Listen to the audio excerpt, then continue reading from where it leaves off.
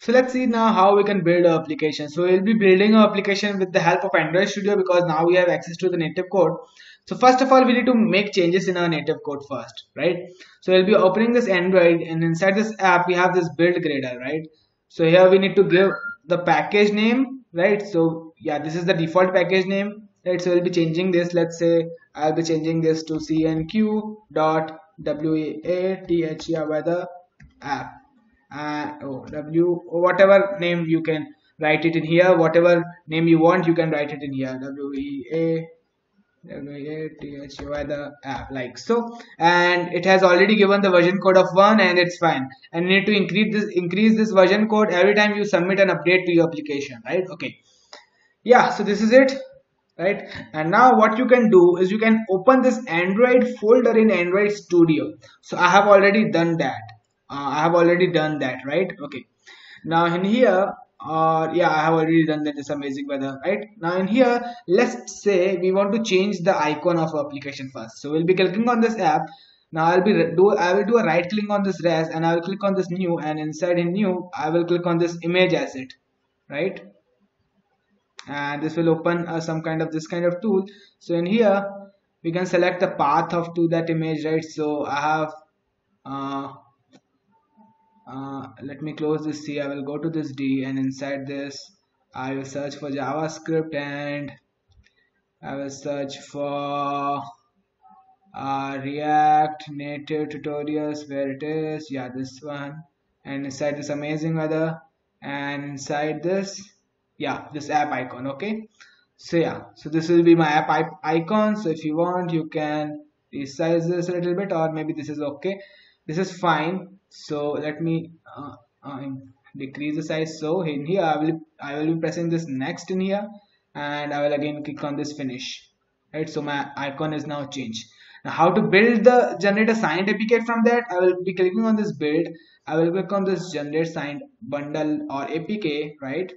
Uh, I will build APK. I will click on this next. So I need to give my key store right? So i'll be clicking on this choose existing. So if you don't have you can create a new key store right? Using android studio. So i'll be choosing from my existing. Here i have, I have my key store. Okay. And key store password i don't know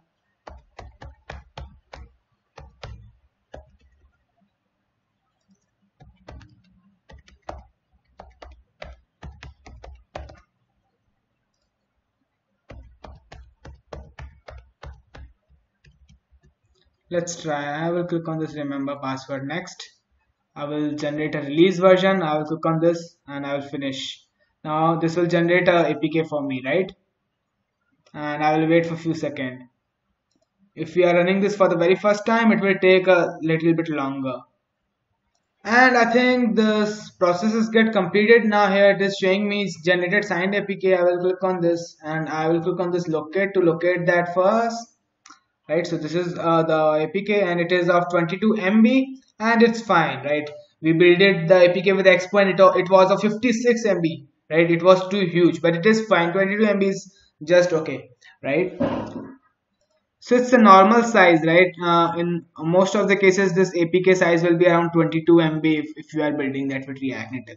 But if you want uh, apk size should be lesser than that then instead of building this uh, apk you can build uh, this uh, here we have this option right? Generate bundle. You can build instead bundle right? Yeah. Uh, build bundle. Oh not bundle. Oh so right? Yeah if you will build this bundle so what this google play store will do is it will it will install the apps on the user system according to their hardware configurations right? So the app size will be small right in that case. So it will automatically google play will automatically optimize your app and will install a smaller size application on that user according to the hardware configuration right? If you want a smaller size. Or you, you can do one more thing is that you can uh, open your code file in here and here you can make this to true right? So this will generate two apks i guess right? Uh, one AP, apk for different hardware kind of devices and one apk for different hardware right? Right?